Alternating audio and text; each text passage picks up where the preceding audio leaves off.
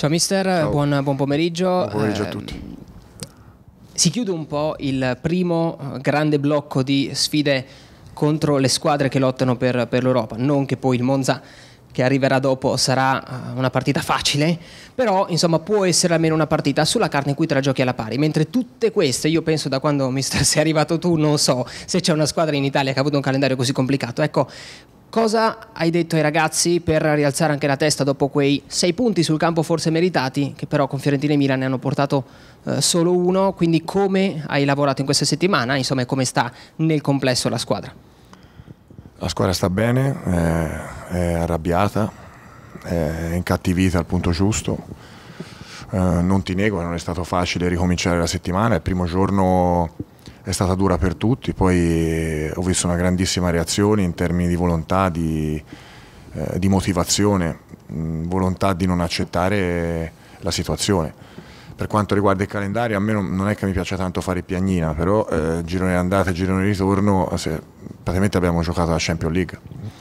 E quindi due volte in Milan, due volte Atalanta. Inter, Senza il praticamente. Eh, e quindi eh, questo è. E, eh, la cosa positiva è che fino ad oggi siamo usciti, e lo stesso domani, siamo usciti mh, con qualche rammarico, nel senso che poteva essere di più, quindi la squadra è presente.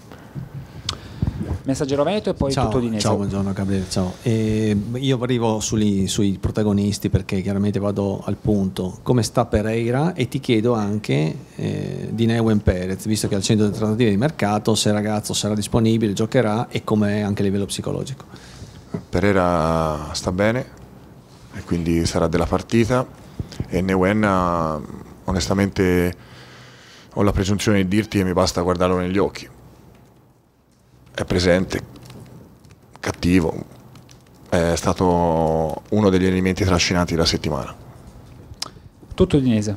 Buongiorno mister, Ciao. ovviamente è stata una settimana molto particolare anche per quello che è successo eh, per quanto riguarda l'episodio di Megnan, quindi volevo, dire, volevo chiedere come è cambiata eh, la preparazione in questa settimana si è trovato anche una squadra dal punto di vista mentale diverso, soprattutto visto anche il periodo? Allora, credo che le parole giuste è che personalmente a livello di società e di squadra siamo rimasti tutti colpiti e feriti di quello che è successo a Magnan. Eh, reputo che la squalifica così mi aggancio eh, data a, a, noi sia estremamente pesante ehm, in ottica di una città e di una società che credo siano esemplari, no, credo siano, sono esemplari in termini di multirazialità ed integrazione. E se basta che 5x persone vadano in uno stadio in maniera non organizzata diventa tutto buono. Domani e te si può andare boh, Bergamo, si va a Bergamo domani, andiamo a Bergamo. Per dirne una a caso, si comincia a urlare, si comincia punti, squalifiche, campi, diventa tutto buono. Se è una roba organizzata va ammazzata, se una roba non è organizzata va ammazzata, va, va ammazzata l'individuo. Società non c'entra niente, squadra non c'entra niente. Cioè noi ci si gioca uno scontro diretto, tra virgolette, anche se il Monza è una situazione eh, diversa, con una penalizzazione incredibile eh, quindi detto questo eh, ti aggiungo anche una piccola cosa a livello personale dicendoti che io quotidianamente da anni praticamente faccio, non posto, faccio, allenando da quando sono andato in Australia per finire all'Inghilterra, per tornare qui in Italia, culture diverse, mentalità diverse, quindi è uno dei motivi per cui sono l'Udinese è questo. Il, il rispetto per la diversità è un mio principio di vita. Lo dico solo per... lo dico e chiudo. Quindi non ho bisogno di far vedere. E credo che le parole usate dalla società a fine partita erano più che sufficienti per quello che, che è successo. Quindi avanti, dimmi. Prossime domande? Ancora tu, prego. Ne faccio ancora una io. Ehm, L'Atalanta comunque arriva molto in forma, è una squadra che eh, nella gara d'andata ha evidenziato un po' uno dei problemi principali dell'Udinese di quest'anno, cioè la gestione dei minuti finali. A me ha colpito molto le parole di, di Padelli in settimana che ha detto praticamente che non è che si può lavorare tanto su questa cosa perché è come se voi foste entrati in una sorta di loop, cioè che quando arriva quel momento quasi quasi te lo aspetti, no? cioè, non, non, è una roba che magari state cambiando in settimana. Quindi io volevo chiedere, per lavorare su quelle cose lì, siccome è difficile dal punto di vista tecnico sul campo, ha in mente magari qualche shock, qualche mossa shock che possa un po' cambiare improvvisamente e eh, magari anche dal punto di vista mentale per la squadra aiutarlo. Penso magari, non so, a un cambio di, di, interpreti, un cambio di modulo, proprio in quei minuti lì, non in generale, perché alla fine l'Udinese fino al 75esimo gioca sempre la partita a modo suo e molte volte anche meglio rispetto all'avversario, però quei minuti lì ogni volta improvvisamente cambia, ecco, volevo sapere questo. Eh, sì, ora è il 75esimo, uno dello staff correrà nudo nel campo e quindi avremo questo break, questo shock perché fisicamente non è nemmeno prestante. Quindi. Ma allora, ehm, ehm, Daniele è un ragazzo intelligente e sensibile, quindi ciò che ha detto eh, lo ha detto per un motivo. Io credo, l'altra volta avevo detto che non so se è allenabile, in realtà mi sono sbagliato, nel calcio tutto è allenabile e noi ci siamo allenati uh, al caos, che poi credo che è quello che eh, contraddistinga, contraddistingua quegli ultimi minuti finali, perché credo se vai a vedere i cambi sono stati fatti più in là possibile tante volte proprio per questo motivo qui, quindi non credo sia un motivo, un motivo di cambi.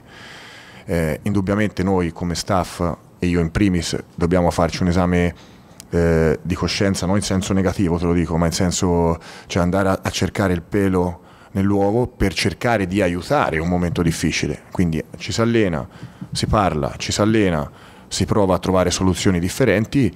E io credo la medicina che l'abbiamo trovata questa settimana. Vediamo se è quella giusta. Telefrioli.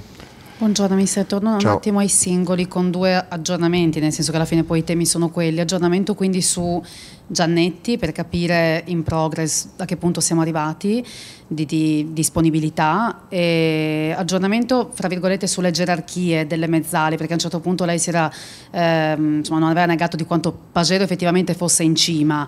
Lovric ha saputo di guadagnarsi un posto Samarzic ultimamente ha rivissuto una fase da protagonista quindi un aggiornamento delle gerarchie se è giusto chiamarle così in tal senso. Sì sì corretto hai detto la parola che uso spesso ragazzi eh, Giannetti sta bene, deve aspettare il suo momento e quindi è, un, è, una ruota, un episodio, una squalifica, un, un, entrare in campo a mezz'ora dalla fine dove dimostra, non che abbia bisogno di dimostrare perché chiaramente è arrivato ora, però dove sì, dimostra la parola giusta, il suo peso specifico per la squadra e poi sta a me dargli la chance. Per quanto riguarda le altre gerarchie che hai detto è corretto Pacero era nella gerarchia avanti a Samarzic, eh, poi Samarzic eh, secondo me ha fatto tre, tre, ottime partite per motivi diversi e quindi eh, vediamo, non ho ancora deciso in tal senso, ma le gerarchie se le, se le creano loro quando stanno in campo e dimostrano di volerci, di volerci stare o, o, quando sono fuori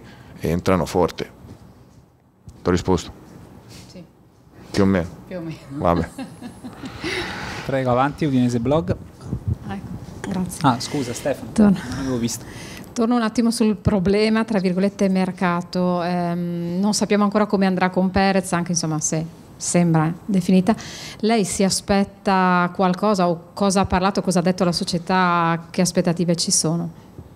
Ma io non ho detto niente alla società e non mi aspetto niente, anche perché siccome è un errore che ho già fatto, se ti aspetti e chiedi sei poco concentrato su quello che devi fare e ora noi abbiamo da prendere dei punti, da tornare da Bergamo con dei punti, sapendo che l'Atalanta non ce li vorrà dare, quindi immagina quanta pressione abbiamo.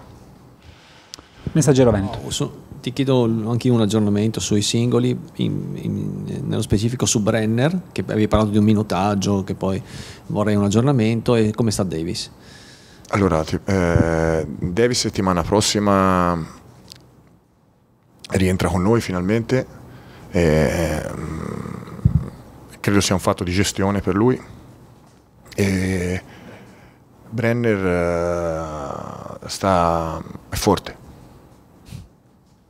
Brenner è forte. È forte, è un ragazzo umile, un ragazzo intelligente eh, che impara veloce. E anche lì ti ripeto, eh, alla fine si giocano 11 più 5 che entrano. Farli giocare tutti è dura, ma ti ripeto quello che ho detto, è forte. E ora, chiaramente te lo dico sapendo che un ragazzo ha una grande umiltà e dedizione al lavoro, quindi non sto lo sto esaltando più del dovuto. TV12 e poi chiudiamo con... Anche, anche perché lo deve dimostrare, perché se io dico è forte e poi lui entra e scivola...